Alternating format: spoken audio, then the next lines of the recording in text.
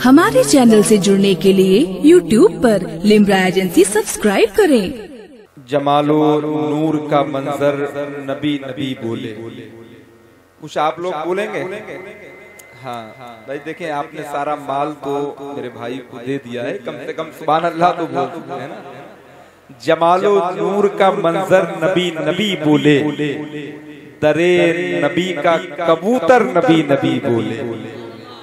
दरे नबी का कबूतर नबी नबी बोले, हमारे दिल के मोबाइल में सिम है तैबा का, हमारी सांस का टावर नबी नबी हमारे दिल के मोबाइल में सिम है, हमारी सांस का टावर नबी नबी बोले। हजरात, बहुत अच्छी कीमती और टेक्निकल शायरी आपने, बड़े भाई मोहतरम बदरुल हसन ओवैसी साहब खुदा से समाज फरमाई मैं बहुत बहुत मुबारकबाद पेश करता हूँ। आप देख रहे हैं मिम्बर नूर पर खतीब अहल सुन्नत नाइब काजी शहर उन्नाव की जलवागरी है। हज़रत को बहुत ज़्यादा देर बैठाना भी मुनासिब नहीं है। और बस बरकतें तकसीम फरमाने के लिए चंद लम्हात के बाद हुजूर पीर तरीकत, सैयदी सरकार सुहेल मिल्लत मिम्बर नूर पर पहुँचने वाले हैं। अब आइए शायर अहल सुन्नत मद्दाह रसूल बुलबुल बाग मदीना पैक करे तरन्नुम। हज़रत मौलाना नसीम अख्तर अजीजी वाहिदी, जिनका ताल्लुक सूबा बिहार से है, वो बहुत देर से मेंबर नूर पर बैठे हुए हैं। अब आइए उनके करीब हुआ जाए। और यकीन माने, अगर आप उनके करीब हो गए तो आज ऐसा महसूस होगा कि आपकी इस बस्ती से मदीने शरीफ की सरहदें करीब होगी क्योंकि अल्लाह ने ऐसा हुनर बख्शा है। जब जनाब नसीम अख्तर अजीजी वाहिदी नबी की नात पढ़ना शुरू करते हैं तो लगता है कि इनके साथ ये तमाम दरो दीवार नबी की नात पढ़ते मैं बस एक हूँ और उसी शेर के साथ मैं जनाब नसीम अख्तर अजीजी को आपके करीब करना चाहता हूँ। नबी की नात की जब बात आती है तो बस ये समझ लें कि नात है क्या? हिंदुस्तान का एक बहुत मशहूर शायर गुजरा है जिसको राहत इंदौरी कहा जाता था। उस राहत इंदौरी से एक ने सवाल किया कि तुम्हारा काम तो बहुत अच्छा है, तुम जाते हो 10 20 30 मिनट शेर सुनाते हो और मोटा नजराना लेकर अपने घर चले जाते हो। तो उसने अपना दर्द बयान किया। वो कहता है कि हमसे पूछो कि गज़ल मांगती है कितना लहू। हमसे पूछो कि गज़ल मांगती है कितना लहू। लोग कहते हैं कि धंधा बड़े आराम का। पूछो कि गज़ल मांगती है कितना लहू। लोग कहते हैं कि धंधा बड़े आराम का है। ये बात एक गज़ल के शायर बस इधर देखें। सरकार फजले रहमा के दरबार की तमाम बरकतें और फैजान लेकर खतीब अहल सुन्नत नाशिर मसल के आला हज़रत हज़रत मौलाना इब्राहिम अब्र साहब की आमद आमद है। आप इनकी जियारत करें और बस तैयार हो जाए। राहत इंदौरी का शेर आपने सुन लिया। ये बात गज़ल की हुई। उसने अपने दिल का दर्द बयान किया। जब बात नातिया शायरी तक पहुँची।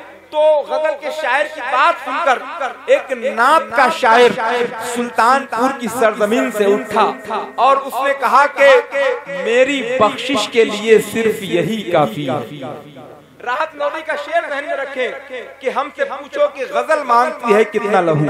लोग कहते हैं कि धंधा बड़े आराम का है। मौलाना फिरदौस सुल्तानपुरी कहते हैं कि मेरी बख्शिश के लिए सिर्फ़ यही काफ़ी है। मुझ गुनाहगार को तैबा की गली काफ़ी मेरी बख्शिश के लिए सिर्फ़ यही काफ़ी है। मुझ गुनाहगार को तैबा की गली काफ़ी है। वो गज़ल है जो लहू मांगती है तुमसे मियाँ। नात लिखने के लिए इसके नबी काफ़ी है। वो गज़ल है जो लहू मांगती है तुमसे मियाँ। वो गज़ल है मांगती है तुमसे मियाँ। नात लिखने के लिए इसके नबी काफ़ी है। नात लिखने के लिए इसके नबी काफ़ी है। उसी इश्के नबी में डूब कर नात पढ़ने वाला वो पाकिजा लहजा, जिसे शायर अहले सुन्नत बुलबुल बाग मदीना, भाई मोहतरम मौलाना नसीम अख्तर अजीजी वाहिदी कहा जाता है। आइए मोहब्बत से हाथ उठाएँ और उनका इस्तेमाल कर लेना रहे तकबीर। हजरात देखें, मैं समझ रहा हूँ कि बहुत ज़्यादा तादाद नहीं है, लेकिन इनकलाब लाने के लिए हज़ारों नहीं, बल्कि सिर्फ़ 313 या करबला के बहत्तर हुसैनी काफ़ी होते हैं। क्योंकि अब हमें अगला नहीं, पिछला जमाना चाहिए। एक ही दाना मगर पहलोल दाना चाहिए। चावलों के सभी ताने नहीं देखे जाते। हो, मोहब्बत तो घराने नहीं देखे जाते। सिर्फ़ महसूस करो हमको जमाने वालों, हम फकीरों के खजाने नहीं देखे जाते। जरा मोहब्बत से बेदार होकर इस्तकबाल करें नारे तकबीर, नारे रिसालत, अजमत मुस्तफ़ा कॉन्फ्रेंस मसल के आला हज़रत ओलमाए अहले सुन्नत, आमदे सरकार सुहेले मिल्लत, फैजाने सरकार फजले रहमा, जनाबे नसीम अख्तर अजीजी वाहिदी, नारे तकबीर। नारे रिसालत के तेरे कदमों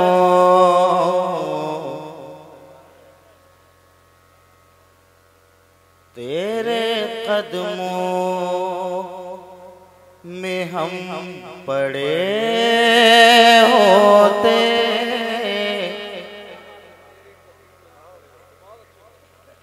तेरे कदमों में हम पड़े होते। तेरे कदमों में हम पड़े होते।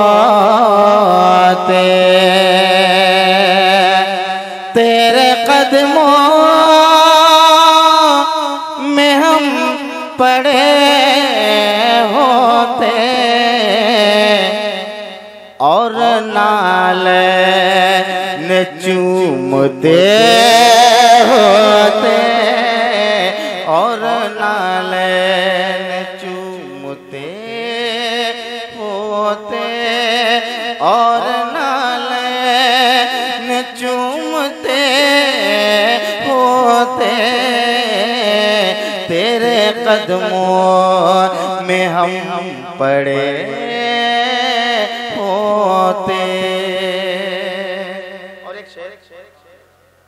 जैसे जैसे आगे बढ़ेंगे मैं बढ़ूँगा चलेंगे इंशाल्लाह।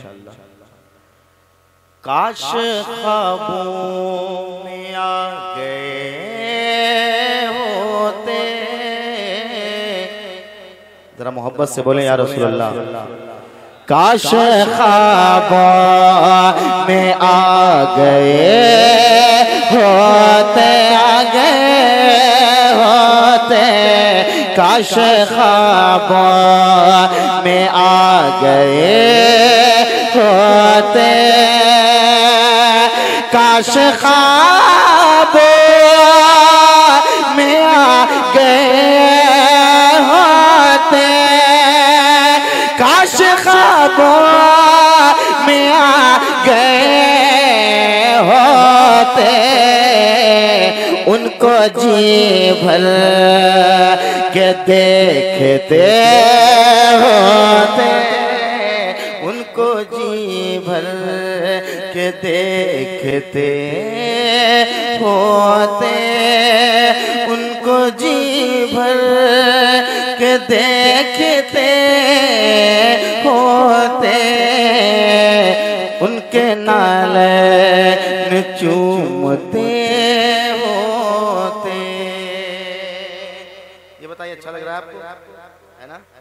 अब मैं एक शेर पढ़ता हूँ। इंशाल्लाह कोई खामोश नहीं बैठेगा। जो कुर्सी पे बैठे वह कुर्सी छोड़कर अपने हुजूर को याद करेंगे। मैं एक शेर पढ़ता हूँ सुने। इमाम हुसैन से वाकई में मोहब्बत है तो आप इमाम हुसैन के मोहब्बत में कुर्सी पे नहीं बैठेंगे बल्कि हुसैन के नारा लगाएँगे। मैं शेर पढ़ता हूँ सुने। होता मिट्टी का एक खिलौना होता मिट्टी कायक खिलौना में होता मिट्टी का एक खिलौना मैं होता मेटे का के खिलौना मैं मुझसे हंसने न खेलते होते मुझसे हंसने न खेलते होते मुझसे हंसने न खेलते होते मुझसे हंसने न खेलते होते और एक शेर शेर के हवाले से मुफ्ती साहब के कदमों का बोसा लेकर। इजहार शाहजानपुरी साहब बड़े भाई के हवाले से एक शेर। दौर पहलोलता न मिल जाता। अरे मोहब्बत से। एक भी मैंने शाम से अभी तक देखा किसी बंदे ने एक नारा तक नहीं लगाया। अरे कम से कम सरकार से मोहब्बत है तो नारा कोई ना कोई दीवाना लगाएगा। पढ़ता हूँ, सुने। दौर दाना मिल जाता मिल जाता। जाता, दौर बहलाल दाना मिल जाता। दौर बहल लेता न मिल जाता। हम भी जन्नत खरीदते होते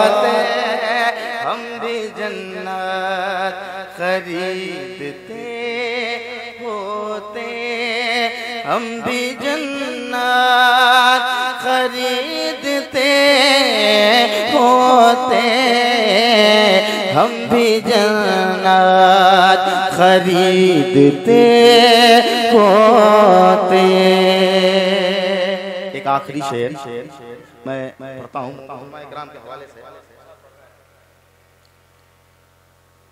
के आशिकों लौट के ना ना था। ना ना था। आशिक लौट के ना आना था। आशिक लौट के ना आना था। आशिक लौट ना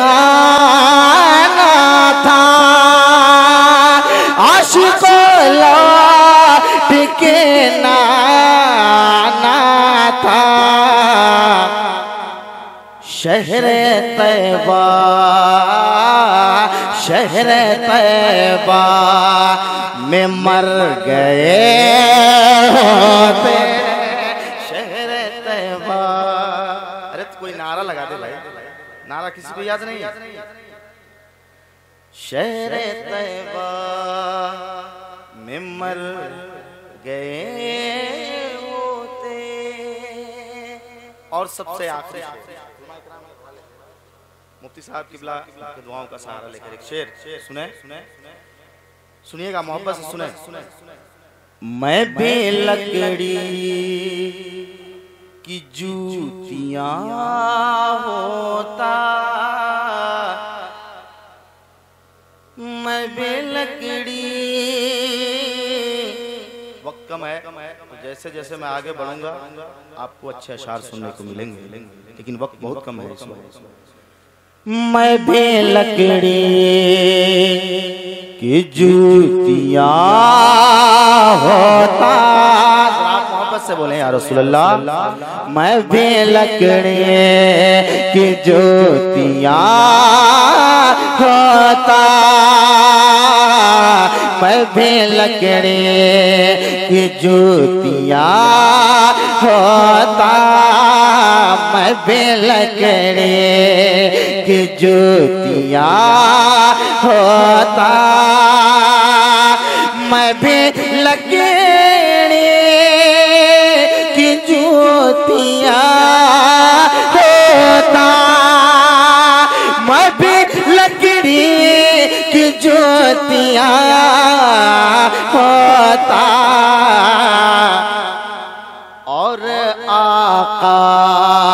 पहन रहे होते और आका पहन रहे होते और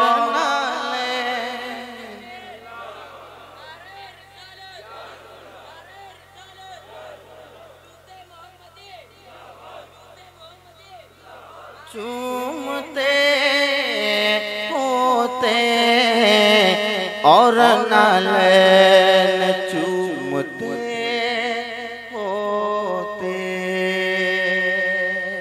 और दो तीन शेर कुछ कलाम है। दो तीन शेर पढ़ के मैं अपनी जगह लेता हूँ। सुनने के लिए तैयार है? तो हाथ कितने लोग सुनने के लिए तैयार है? जरा बेदार करें बोले यार रसोल्ला अभी कुछ रोज पहले मेरे वालिद वालदा उम्रा के लिए गए। उस मौके पे मेरे बड़े भाई ने इस कलाम को लिखा है। सुनेंगे मचल जाएँगे। के हम किसको सुनाए हाल दिल? जरा बोलिए बोलिए बोलिए बोलिए। हम किसको सुनाए हाल दिल? आका हम किसको सुनाए हाल दिल? जीने का सहारा कोई नहीं हम सब लोग हाथ उठा करके मेरे साथ पढ़े ये पटना एयरपोर्ट में मैंने इस कलाम को पढ़ा था। हम किसको सुनाए? हाल दिल हम किसको सुनाए? हाल दिल हम किसको सुनाए? हाल दिल जीने का सहारा कोई नहीं, जीने का सहारा कोई नहीं। हम किसको सुनाए? हाल दिल, हम किसको सुनाए? हाल दिल, जीने का सहारा कोई नहीं, जीने का सहारा कोई नहीं। सरकार, मदीना कर दो करम, सरकार, मदीना कर दो करम, सरकार, मदीना कर दो करम। दुनिया में हमारा कोई नहीं, सरकार मदीना कर दो करम, सरकार मदीना कर दो करम। दुनिया में हमारा कोई नहीं। मेरे साथ आप कहेंगे, दुनिया में हमारा, आप कहें कोई नहीं। दुनिया में हमारा और ज़ोर से आवाज़ नहीं आ रही है। सरकार दो आलम कर दो करम। दुनिया में हमारा कोई नहीं। सुन ले। अब डूबने वाली है कश्ती। तूफ़ान, बड़े जोरों पर है तूफ़ान। बड़े जोरों पर है अब डूबने। वाले है कश्ती अब डूबने। वाले है कश्ती तूफ़ान, बड़े जोरों पर है अब डूबने। वाले है कश्ती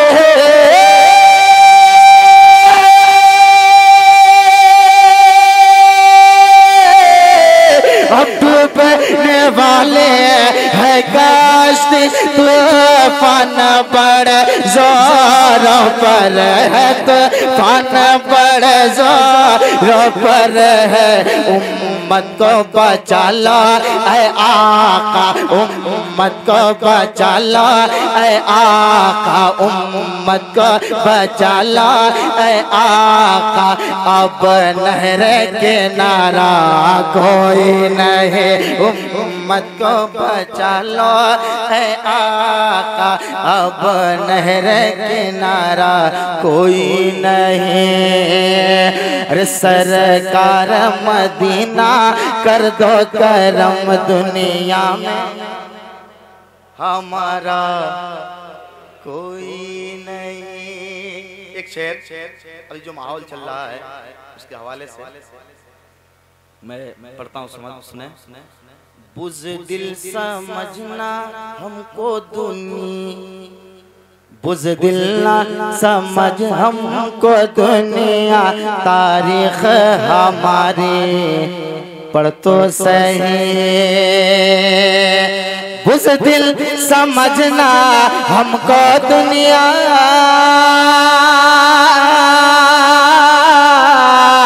बुजदिल समझना हमको दुनिया तारीख हमारी पढ़ तो सहे तारीख हमारी पढ़ तो सहे अरे दीवाना नबी का जीता है, दीवाना नबी का जीता है, दीवाना नबी का जीता है। हालात से हारा कोई नहीं। दीवाना नबी का जीता है। हालात से हारा कोई नहीं। बस आखिरी शेर मैं अपनी जगह लेता हूँ। अब ये बताइए, इमाम हुसैन के बारगाह में शेर पढ़। सुनने के लिए तैयार है? तो सब लोग खड़े होकर नारा लगाएँ। कितने लोग नारा लगाएँगे? जरा हाथ उठा करके बोलिए तो। सब लोग नारा लगाएँ, खड़े होकर मैं शेर पढ़ता हूँ, सुने। क्या खूब नज़ारा है, देखो। सब अहले मदीना कहते हैं। क्या खूब नज़ारा है देखो सब अहले मदीना कहते थे। क्या खूब नज़ारा? क्या खूब नज़ारा? है देखो सब अहले मदीना, कहते थे जी सब अहले मदीना, कहते थे, अरे बैठे हैं नबी के कांधों पर, बैठे हैं नबी के कांधों पर, बैठे हैं नबी के कांधों पर शबीर से प्यारा कोई नहीं। बैठे हैं नबी के कांधों